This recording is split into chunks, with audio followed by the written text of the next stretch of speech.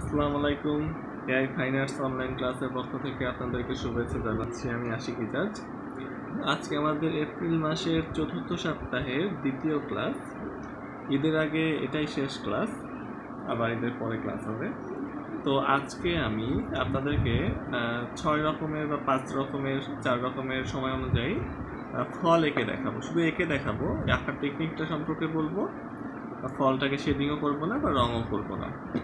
রং করাতে একদম ইজি আপনারা যেহেতু সবাই মোটামুটি আঁকতে পারেন, তো রং করাটা কিন্তু আপনাদের জন্য খুব একটা কঠিন হবে না। একটা গুগল থেকে ছবি নামিয়ে ওই রকম করে কিন্তু আপনারা খুব সহজেই রং করে নিতে পারবেন। তো আমি আজকে আঁকার টেকনিকটা দেখাবো। আঁকার ধরনটা যে খুব সহজে কীভাবে আপনি আঁকতে পারবেন ফলগুলোকে বৃত্ত, ত্রিভুজ আর চতুর্ভুজের মাধ্যমে। তো আজকে যেহেতু আমাদের ফলমূলের ক্লাস ছিল, তাই ফলমূল আঁকা দেখাচ্ছি তো সবার প্রথমে আমি তিনটা বৃত্তের মাধ্যমে আপেলটাকে আঁকবো।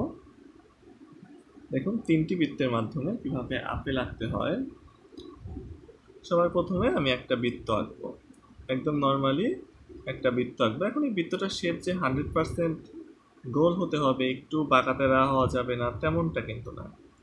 শুধুমাত্র বৃত্তর মতো দেখতে হলেই কিন্তু আমাদের চলবে।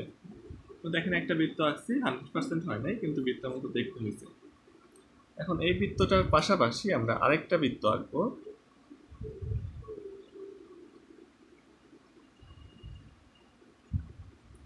এই বৃত্তটার পাশাপাশি এই বৃত্তের সাথে গা লাগিয়ে আমরা আরেকটা বৃত্ত আঁকছি। এই বৃত্তের শেপ যে এই বৃত্তের মতোই হতে হবে, তা কিন্তু না। একটু কম বেশ হলেও কোনো সমস্যা নাই বা অন্যরকম হলেও কোনো সমস্যা নাই।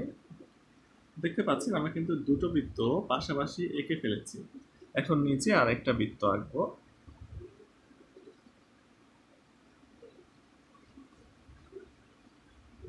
চেষ্টা করব যেন তিনটা বৃত্ত কাছাকাছি সম সমমাপের হয়। দেখা গেল যে একটা বৃত্ত একদম ছোট হয়ে গেল আর দুটো বৃত্ত বড় হয়ে গেল, তাহলে বেমানানসই হয়ে যাবে। চেষ্টা করবেন যেন কাছাকাছি মাপের হয়। তো তিনটা বৃত্ত আমি এঁকে ফেলেছি, এখন আমি এই বৃত্তগুলোকে জয়েন্ট করে দেব। দেখেন, এই বৃত্ত থেকে এই বৃত্তটাকে একটু রাউন্ড করে নিয়ে এসে এভাবে জয়েন্ট করলাম। এই বৃত্ত থেকে এই বৃত্তটাকেও একইভাবে একটু রাউন্ড করে নিয়ে এসে এভাবে জয়েন করে দিব। তারপরে নিচের একটা অংশ আমি মুছে ফেলব। তো নিচে দেখেন এই অংশটা আমি কেটে নিয়েছি। এই অংশটা আমি মুছে ফেলি নর্মাল রাবার দিয়ে। তারপর যেটা করতে হবে, এই যে বৃত্তটা আমরা আঁকছি, তিনটা বৃত্ত, এই যে দুটো বৃত্তর জয়েনিং পয়েন্ট এখান থেকে নিচের দিকে একটা লাইন টানতে হবে। তারপরে এই যে মুছে ফেলা অংশ পর্যন্ত তো এই পর্যন্তই থেমে গিয়েছিল, এই পর্যন্ত এর নিচ থেকে তো আমরা মুছে ফেলছি। এখান থেকে একটু গোলাকৃতি করে নিয়ে এসে এই লাইনের সাথে মেলাবো। এই লাইন থেকে আবার গোলাকৃতি করে নিয়ে এসে এখানে মিলিয়ে দেব। তাহলে কিন্তু আমাদের আপেলের নিচের অংশ কমপ্লিট হয়ে যাবে খুব সহজে তারপর উপরের অংশটা আমরা একদম নর্মালভাবে একটু চাঁদের মতো করে নিচের দিকে বাঁকিয়ে মিলিয়ে দেব। তাহলে আমাদের আপেলের উপরের অংশ কমপ্লিট হয়ে গেল এখন আমরা ভেতরের যে তিনটা বৃত্ত আছে, সেই বৃত্ত তিনটাকে মুছে ফেলব। তাহলে কিন্তু আমরা আপেলের শেপটা পেয়ে যাব। তো একদম সহজ পদ্ধতিতে মাত্র তিনটা বৃত্তের মাধ্যমে আপেল আঁকানো হয়ে গেল। এটা কিন্তু আপনারা একবার দেখেই অবশ্যই পেরে যাবেন। আবার যদি কাউকে শেখাতে চান, তাহলে কিন্তু এই টেকনিকে যদি বাচ্চাদের শেখান, তাহলে বাচ্চারা কিন্তু সহজে এটা বুঝতে পারবে। বাচ্চারা যেহেতু ফ্রি হ্যান্ডে আঁকতে পারবে না। তো আমার কিন্তু আপেল হয়ে গিয়েছে। এখন আমি লাইনগুলোকে একটু কনফার্ম করে দিচ্ছি।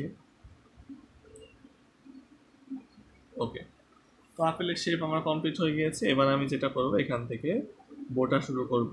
আপেলের বোটা দিলাম, এই যে বোটা হয়ে গেল। তারপরে বোটার নিচে ইউ এর মতো করে দিয়ে দুদিকে একটু এভাবে ছড়িয়ে দেব। তাহলে মনে হবে যে বোটাটা গভীরতম অংশ থেকে উঠে গেছে। তো এখন আমাদের আপেল কিন্তু কমপ্লিট এখন বোটার মাঝখানে আপেলের যে লাইনটা চলে এসেছিল, সেটা মুছে ফেলি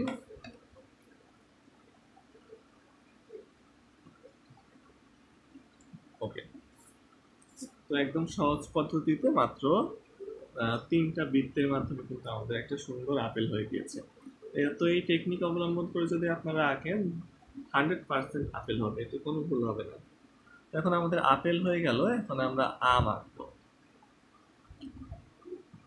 তো আপেলে তিনটা বৃত্ত লেগেছিল একই মাপের। কিন্তু আমে আমাদের দুটা বৃত্ত লাগবে, দুটো ভিন্ন মাপের, একটা বড়, একটা ছোট। তো চলুন আম আঁকা যাক। আমের জন্য সবার প্রথমে আমাদের একটা বড় বৃত্ত প্রয়োজন, যেটা উপরের দিকে হবে। তো উপরের দিকে আমরা একটা বড় করে বৃত্ত আঁকার চেষ্টা করি। একদম হান্ড্রেড পার্সেন্ট যে বৃত্ত হতে হবে তা না, বৃত্তের শেপে আসলেই কিন্তু চলবে। একটু টেরা, একটু বেঁকা যদি হয়ে যায়, তাহলে কোনো সমস্যা নেই। দেখতে পাচ্ছেন, আমি স্বাভাবিকভাবে একটা বৃত্তের শেপ এনে ফেলেছি। এটা কিন্তু পুরোপুরি বৃত্ত হয় নাই, কিন্তু বৃত্তর মতো কিন্তু দেখতে হয়েছে। একটু উনিশ বিশে আছে, তো সমস্যা নেই। তো এই আমাদের প্রথম বৃত্ত হয়ে গেল। এখন যেটা করব সেটা হলো, এর ঠিক নিচে আমরা আরেকটা বৃত্ত আঁকবো, যে ছোট বৃত্তটা যেটা এই বৃত্তের মধ্যে দিয়ে যাবে। এখানে আমরা আরেকটা ছোট বৃত্ত এঁকে ফেললাম, যেটা আগের বৃত্তর থেকে অবশ্যই অবশ্যই ছোট হবে। দেখতে পাচ্ছেন, এই বৃত্ত শেপটাও কিন্তু হান্ড্রেড পার্সেন্ট বৃত্ত হয় নাই, কিন্তু কাছাকাছি হয়েছে, এটাই আমাদের দরকার। ফলমূল আঁকার জন্য আমাদের কখনোই হান্ড্রেড পার্সেন্ট বৃত্ত বা হান্ড্রেড পার্সেন্ট ত্রিভুজ চতুর্ভুজ আঁকার দরকার নেই, শুধু এরকম দেখতে হলেই হবে। এভাবে আমরা দুটো বৃত্ত এঁকে ফেললাম, উপরে একটা বড় বৃত্ত, তার মাঝখান দিয়ে একটা ছোট বৃত্ত নিচের দিকে। তারপর যেটা করব, এই বৃত্তের সাথে এই বৃত্তের জয়েন্ট করিয়ে দেব, ঠিক যেমনটা আপেলে করেছিলাম, একটু রাউন্ড করে নিয়ে এসে জয়েন্ট করিয়ে দিলাম। এটা হয়ে গেল আমাদের আমের পিঠের অংশ, এবার আমের মুখের অংশ কমপ্লিট করব। তো মুখের অংশ করার জন্য দেখেন যে এই যে লাইনটা গেল লাইনটা গেল এ পর্যন্ত তো আসলো নর্মালি আসলো। এখান থেকে এই যে বৃত্তের একটা অংশ কেটে নেব। দেখেন, এই পর্যন্ত তো আসলো, এটা তো বৃত্তেরই লাইন গেল, বৃত্তের লাইন গেল এই পর্যন্ত এসে ঠেকলো। ঠেকার পরে যে ছোট বৃত্ত যেটা আছে, সেটা থেকে সামান্য একটা অংশ চাঁদের মধ্যে করে কেটে নেব। কেটে নিয়ে এটাকে এই বৃত্তের লাইনের উপর দিয়ে নিয়ে যাব, তাহলে কিন্তু আমাদের আম হয়ে গেল। এখন সমস্ত ভেতরে যে বৃত্তগুলো ছিল, সেই বৃত্তের লাইনগুলোকে মুছে ফেলে দেখবেন যে আম হয়ে গিয়েছে।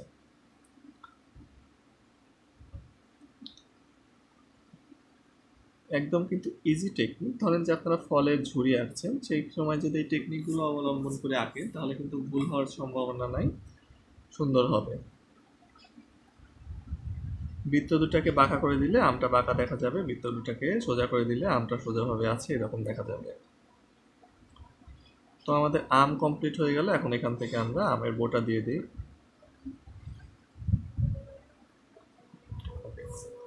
আমের বোটা দিয়ে দিয়েছি, আমাদের আপেল, আম দুটোই কমপ্লিট হয়ে গেল বৃত্তের সাহায্যে। এবার আমরা আম আঁকছি দুটো ভিন্ন ভিন্ন বৃত্ত দিয়ে, এবার এই দুটো বৃত্ত দিয়ে আমরা পেঁপে আঁকবো।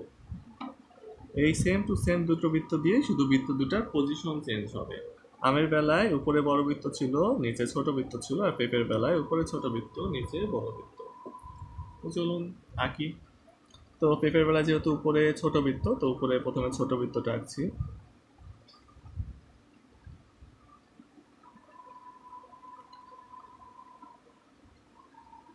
হাত দিয়ে স্বাভাবিকভাবে একটা বৃত্ত শেপে নিয়ে এসেছি আমি। আশা করি আপনারা দেখতে পাচ্ছেন। ওকে তারপরে নিচে আমরা বড় বৃত্ত আঁকবো। তো আমের বেলায় কি করেছিলাম যে, এই বৃত্তের মধ্যে দিয়ে আমরা ছোট বৃত্তটা এঁকেছিলাম। কিন্তু এখানে যেটা করব, সেটা হলো গায়ের সাথে গা লাগিয়ে বড় বৃত্ত আঁকবো। এমন না যে ভেতর দিয়ে দিলে হবে না। এখানে আমি যদি এর মাঝখান দিয়ে এই যে একটুখানি একে কেটে দিয়েও যদি আঁকতাম তাও কিন্তু হতো। এটা কিন্তু কোনো সমস্যা না। আপনারা এই বৃত্তর একটু ভেতর দিয়েও নিয়ে যেতে পারেন বড় বৃত্তটাকে, বা বড় বৃত্তর ভেতর দিয়ে ছোট বৃত্তটাকে নিয়ে যেতে পারেন, আবার গায়ের সাথে গা লাগিয়েও নিয়ে যেতে পারেন। তো এখানে দেখেন, আমি দুটো বৃত্ত এঁকে ফেলেছি। নিচেরটা বড় বৃত্ত, উপরেরটা ছোট বৃত্ত, একদম নর্মালভাবে আমি আপনাদের যাই শেখাবো, একদম মানুষ পর্যন্ত। সবই কিন্তু মাত্র তিনটা শেপের উপর ডিপেন্ড করে। একটা হলো ত্রিভুজ, চতুর্ভুজ আর বৃত্ত। এই তিনটা শেপ দিয়ে আমি আপনাদের সমস্ত জিনিস আঁকানো শেখাবো। তো এখন আমরা এভাবে করে ফেললাম পেপের স্ট্রাকচারটা তারপরে যেটা করতে হবে, আমের বেলায় আপেলের বেলায় আমরা এটাকে এভাবে রাউন্ড করে মিলিয়েছিলাম। পেঁপের বেলায় এটাকে অন্যভাবে মেলাবো, ভেতরের দিকে বাঁকিয়ে। এই যে লাইনটা আসলো লাইনটা আসলো লাইন সোজাসুজি আসলো, এসে একটু ভেতরের দিকে হালকা একটু বাঁকিয়ে এই বৃত্তের সাথে মিলে গেল। ঠিক যেমনটা যে একটা ব্রিজের উপরে বা একটা পাতলা ব্রিজের উপরে, কাঠের ব্রিজের উপরে যদি ভারী ভারী গাড়ি ওঠে, তাহলে ব্রিজটা যেমন একটু নিচের দিকে হেলে পড়ে, ঠিক সেভাবে কিন্তু একটু নিচের দিকে হেলিয়ে দিয়ে আমরা দুটো বৃত্তকে মিলিয়ে দিচ্ছি। এভাবে হেলিয়ে দিয়ে মিলিয়ে দিলাম, তারপর যেটা করতে হবে, এই বৃত্তের মাঝ বরাবর দিয়ে একটা আমরা লাইন টানবো, যেটাকে একটু নিচ পর্যন্ত নিয়ে আসব। মাঝ বরাবর দিয়ে একটা লাইন টানলাম, যেটাকে একটু নিচ পর্যন্ত নিয়ে আসছি। তারপর এই যে এই বৃত্তের লাইনটাকে এখানে নিয়ে এসে ঠেকিয়ে দেব। এই বৃত্তের এই লাইনটাকেও এখানে নিয়ে এসে ঠেকিয়ে দেব। তাহলে কিন্তু আমাদের পেপের শেপ হয়ে গেল। এখন আমি এটাকে একটু গাঢ় করে দিচ্ছি। গাঢ় করে দিলে আপনারা ঠিকভাবে দেখতে পাবেন। এখানে একটু লাইটের আলো পড়ছে জন্য আপনারা হয়তো ঠিকভাবে দেখতে পাচ্ছেন না। তো দেখেন, আমাদের কিন্তু শেপটা পেপের হয়ে গিয়েছে এখন আমি ভেতরের বৃত্তগুলো মুছে ফেলি, তাই দেখতে পাবেন যে পেপে হয়ে গিয়েছে তো এখনও এটা কমপ্লিট হয় নাই। যেহেতু পেঁপে একদম আমের মতো মসৃণ হয় না, এটা ফালি ফালি থাকে, তো ফালিগুলো দিতে হবে এখন।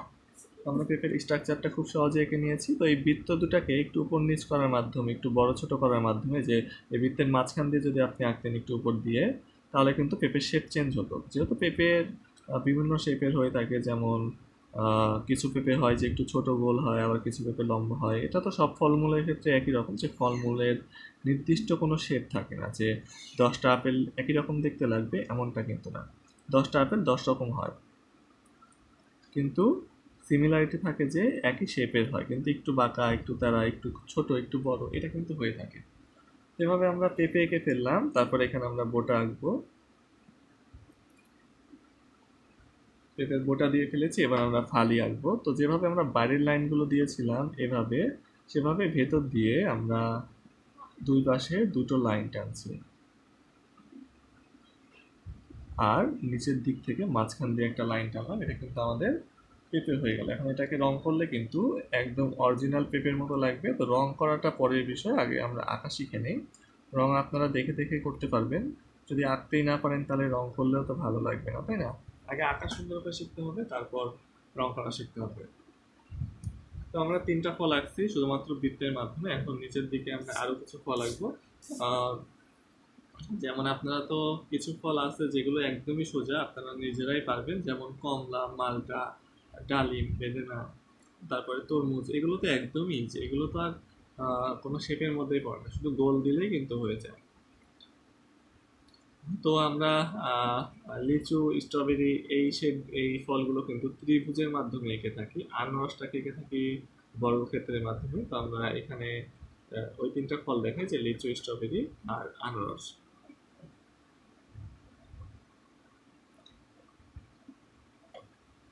যেহেতু এটা ফলের প্রথম ক্লাস ফলের ক্লাসগুলো এভাবেই নেওয়া হবে যে একসাথে দুই, তিন, চারটা ফল এঁকে দেখানো হবে। তাহলে ফলের ক্লাসগুলো দ্রুত শেষ হবে। যেহেতু টপিক অনেকগুলো ইম্পর্টেন্ট টপিকগুলোর উপর বেশি বেশি ক্লাস হবে, যেটা ধরেন যে স্কেচ হিউম্যান পোর্ট্রেট তারপরে ফিগার ড্রয়িং হ্যান্ড ড্রয়িং তারপরে থ্রি ড্রয়িং তারপরে যে পার্সপেক্টিভ আছে। তো এই সকল জিনিসের উপরে ক্লাসগুলো বেশি বেশি থাকবে যেগুলো ছোটোখাটো ক্লাস যেমন ফুল, ফল, তারপরে টুকটাকি জিনিসপাতি যেমন গ্রামের দৃশ্যের উপাদান বা যেগুলো কম টাইম লাগে আঁকতে, সেগুলো কিন্তু আমরা একসাথে কয়েকটা করে করে এঁকে নেব। যেন আমাদের এক ক্লাসে অনেকগুলো শেখা হয়ে যায়।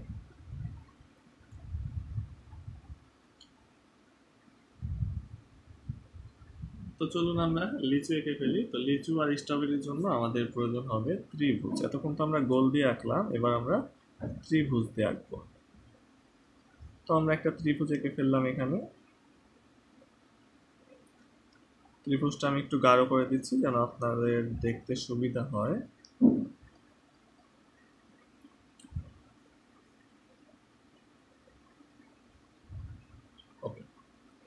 ত্রিভুজ আঁকার পরে এখন এটাকে শুধু একটু গোলাকৃতি করতে হবে। এখানে তো সোজাসুজি লাইন দেওয়া আছে, তো এখান থেকে আমরা এইভাবে আপেলের মতো করে গোলাকৃতি করে এইখানে মিলিয়ে দিলাম। এ পাশেও একইভাবে একটু গোলাকৃতি করে এইখানে মিলিয়ে দেব। তারপরে এটাকে আবার এইভাবে উপরের দিকে নিয়ে আসব এটাকে উপরের দিকে নিয়ে আসব, এইভাবে মিলিয়ে দেব। তারপর এখান থেকে যদি আমরা বোটা দিয়ে দিই, তাহলে কিন্তু এটা লিচু হয়ে গেল। একদম ইজি টেকনিকে কিন্তু লিচুর শেপ হয়ে গেল। এখন লিচুর গায়ে যেহেতু কাটা কাটা থাকে, তো সেই কাটা কাটাটা আমাদের দিতে হবে। তাই আগে আমরা ভেতরে ত্রিভুজটা মুছে ফেলি, তারপরে লিচুর গায়ে কাটা কাটাগুলো দিব।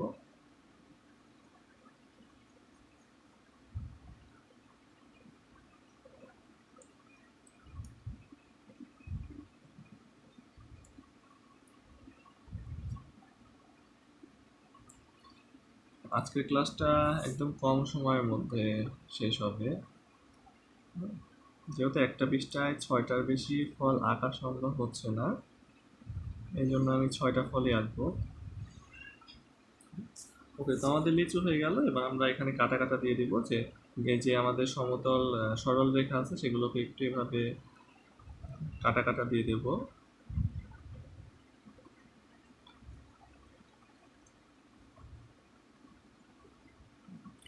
মাঝখানে মাঝখানে এভাবে ভি একে একে কাটা কাটা দিয়ে দিচ্ছি। এটা তো একদমই সোজা। এটা তেমন কঠিন কোনো কাজ না। আপনারা অবশ্যই পারবেন। ওকে।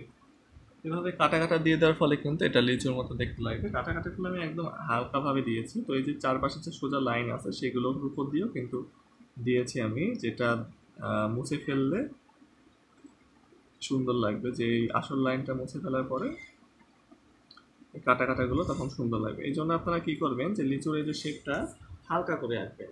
আমি তো আপনাদের দেখানোর জন্য গাঢ় করে রেখেছি। আপনারা হালকা করে রাখবেন যেন এই কাটাগুলো দেওয়ার পরে যে কাটাগুলো দেওয়ার পরে যেন কী করতে পারেন, এই সরল রেখাটা মুছে ফেলতে পারেন সহজেই। গাঢ় করে রাখলে মোছার সমস্যা হয়ে যাবে। এখানে কিন্তু আমাদের লিচু হয়ে গেল। এবার আমরা স্ট্রবেরি আঁকবো একইভাবে ত্রিভুজের মাধ্যমে। এই দুটা যেহেতু একদম সিমিলার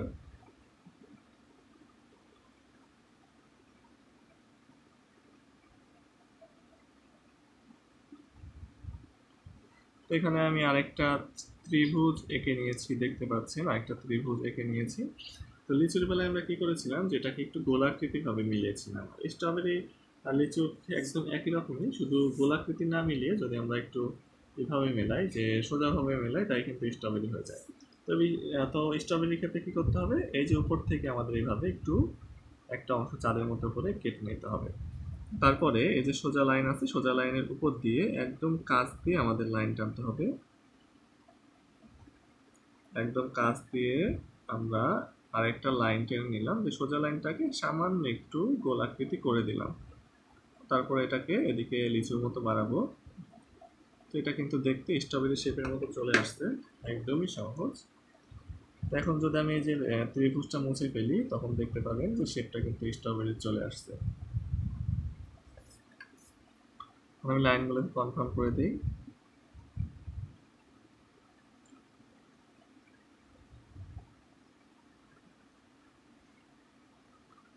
তো একদম কিন্তু ইজি টেকনিকে সমস্ত ফল আঁকছি ফুলগুলো একদম ইজি হবে।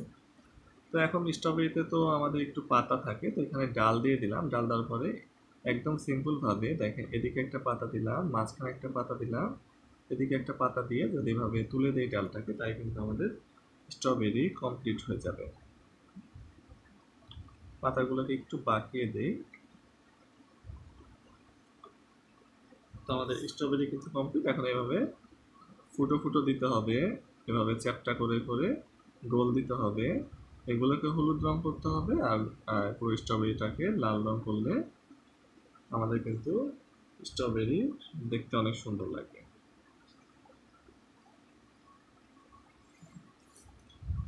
স্ট্রবেরি হয়ে গেল। এখন আমরা আনারস আঁকবো। আনারসটা যত ফল আঁকলাম, সে ফলের মধ্যে সব থেকে ঝামেলা কর ফল যে ওটা আঁকতে গেলে অনেক বেশি সময় লাগে, রং করতে গেলেও সময় লাগে। কিন্তু একদমই ইজি একদমই সোজা এটা বক্সের মাধ্যমে আসব আমি এখানে কিন্তু তিনটা শেপের ব্যবহার দেখাচ্ছি। মানে তিনটা শেপ দিয়ে যে আমি সব কিছু শেখাই, কীভাবে শেখাই তো ফলের মাধ্যমে তিনটা শেপের কিন্তু ব্যবহার দেখাচ্ছি। উপরের শাড়িগুলো বৃত্তের দ্বারা কমপ্লিট করেছি। উপরের শাড়ির তিনটা ফল বৃত্ত দ্বারা কমপ্লিট করেছি। নিচের শাড়ির ফলগুলো ত্রিভুজ দ্বারা কমপ্লিট করেছি। আর এটা কমপ্লিট করব চতুর্ভুজ দ্বারা। তো আনারস আঁকার জন্য আমাদের চতুর্ভুজ আঁকতে হবে। চতুর্ভুজ চার বাহু বিশিষ্ট, চার কোণ বিশিষ্ট একটা জ্যামিতিক শেপ আপনারা তো সবাই জানেন। এভাবে কিন্তু আমি একটা চতুর্ভুজ এঁকে ফেললাম। এখন চতুর্ভুজটাকে যদি আমি আরেকটু মোটা বানাতাম, তাহলে আমার আনারসটা একটু মোটা হতো। তো এইভাবে আমি একটা চতুর্ভুজ এঁকে ফেলেছি। এখন যেটা করতে হবে, চতুর্ভুজের চারটি কোণ আছে দেখতে পাচ্ছেন। এই কোণগুলোকে আমাদের বোচা বানাতে হবে, গোলাকৃতি বানাতে হবে। তো সেক্ষেত্রে আমরা এখানে এই অংশটাকে একটু গোলাকৃতি করে দিচ্ছি, কোণের অংশটাকে। দেখতে পাচ্ছেন, চারদিকে কোণের অংশটাকে শুধু একটু গোলাকৃতি করে দিচ্ছি। আর কিন্তু কিচ্ছু করছি না। চারদিকে কোণের অংশটাকে গোলাকৃতি করে দিলাম। এবার এখানে দেখেন সোজা লাইন গেছে, এটাও সোজা লাইন গেছে। এগুলোকে একটু গোলাকৃতি করে দিই, এই বাইরে দিয়ে একটু লাইন টেনে এটাকে গোলাকৃতি করে দিচ্ছি, যেভাবে আমরা স্ট্রবেরি লিচুতে করলাম সেভাবে। তো এটা করার পর কিন্তু আমাদের আনারসের যে শেপটা সেটা কিন্তু চলে এসেছে। এখন আমরা বাদ বাকি যে চতুর্ভুজের লাইন ছিল, সেটা মুছে ফেলি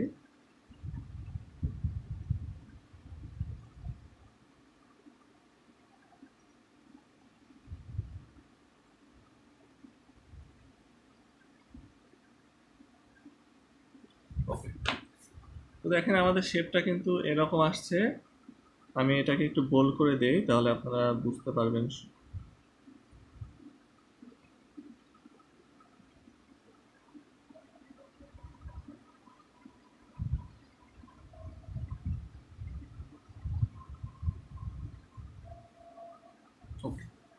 শেপটা এমন চলে আসছে, আনারসের শেপ কিন্তু এমনই থাকে, আপনারা জানেন। তারপরে এখন পাতা দিতে হবে আমাদের। তো পাতা দিব এভাবে যে পাতার জন্য একটা অংশ আমরা আলাদা করে নিলাম। এ পাশে কিছুটা জায়গা রাখছি এ পাশে কিছুটা জায়গা রাখছি, মাঝখানে একটা অংশ আলাদা করে নিলাম যে এখান থেকে আমাদের পাতা তৈরি হবে যে আনারসের মাঝখানে। তো এই জন্য আমরা এরকম একটা শেপ বানালাম। তো বানানোর পরে এখান থেকে আমরা পাতার ডিরেকশন তুলব প্রথমে যে এই দিকে একটা পাতা গেল, এদিকে একটা পাতা গেল, সোজা একটা পাতা গেল, এদিকে একটা পাতা গেল, এদিকে একটা এদিকে একটা। এভাবে কিন্তু পাতার ডিরেকশন দিলাম। এখন পাতা আরেকটু উঁচুতে পর্যন্ত যাবে, কিন্তু যেহেতু এখানে পেপে আঁকা হয়ে গিয়েছে, এই জন্য কিন্তু আমরা উঁচুতে দিতে পারছি না। তো টেকনিক একই থাকবে, এবার ডিরেকশন নেওয়ার পরে এভাবে শুধু পাতাগুলোকে তৈরি করে দিতে হবে।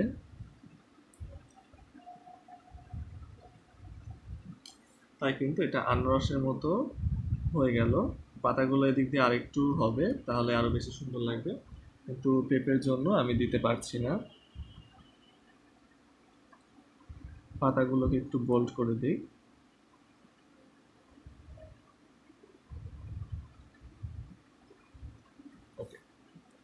এখন নিচ দিয়েও আপনারা এভাবে পাতা দিতে পারেন। অনেকে আনারসের কিন্তু দুই দিকেই পাতা হয়, যে নিচ দিকের পাতাটা কাটা থাকে। তো নিচ দিয়েও এভাবে পাতা দিতে পারেন, এভাবে ডিরেকশন করে পাতা দিতে পারেন। তো আমি নিচ দিকে আর দিলাম না। এখন আমার আনারসের গায়ে যে কাটা কাটা কষি কষি টানা থাকবে, সেইটা আমি এখন কমপ্লিট করব। তো সেটা আমরা স্কেলে দিতে পারি, আবার হাত দিয়েও দিতে পারি। এভাবে একটু রাউন্ড করে করে দেবো। একদম সোজাসুজি লাইন না টেনে যদি এভাবে একটু রাউন্ড করে করে লাইন দিই, তাহলে আমাদের আনারসটা দেখতে বেশি সুন্দর লাগবে। দেখতে পাচ্ছেন যে এভাবে একটু গোলাকৃতি করে করে আমরা কষি টানছি। পুরো আনারসটা কষি টেনে কভার করছি। আবার এদিকে গোলাকৃতি করে দেব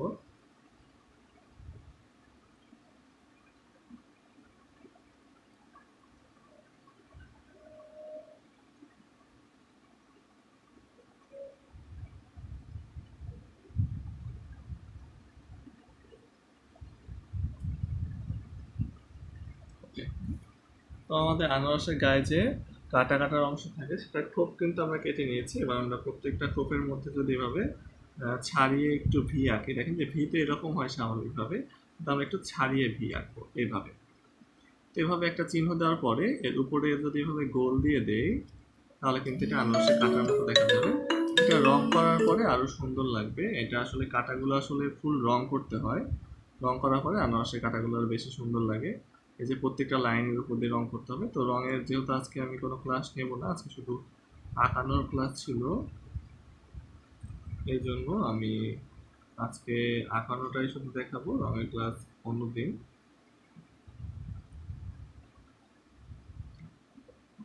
এভাবে পুরো পুরো আনারসটা আমি কমপ্লিট করছি খুব দ্রুত। যেহেতু আউটলাইনটা আউটলাইন এভাবে যদি আমি দেইও এই কাটাগুলো, রং করার পর কিন্তু মুছে যাবে। এই জন্য কাটাগুলো রং করার পরে কালো রং দিয়ে বা লাল রং দিয়ে দিতে হয় যেন যেন না মুছে এর উপর দিয়ে রং করলে সব কাটা মুছে যাবে। তখন কাটা আবার নতুন করে দিতে হবে।